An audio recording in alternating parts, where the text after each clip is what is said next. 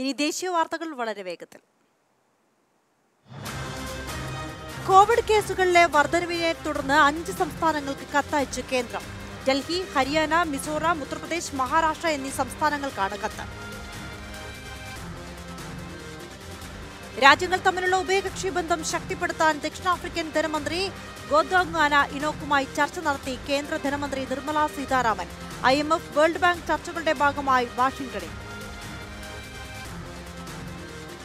മാലദ്വീപ് വിദേശകാര്യമന്ത്രിയുമായി Indian നാവികസേനാ മേധാവി R. Harikumar കൂടിക്കാഴ്ച നടത്തി. ഇന്ത്യൻ മഹാസമുദ്രത്തിലെ സുരക്ഷ കൂട്ടാൻ ചർച്ചയിൽ ധാരണയായി ഇരു രാജ്യങ്ങളുടെയും ബന്ധം കൂടുതൽ ശക്തിപ്പെടുത്തുമെന്ന് മാലദ്വീപ് വിദേശകാര്യമന്ത്രി.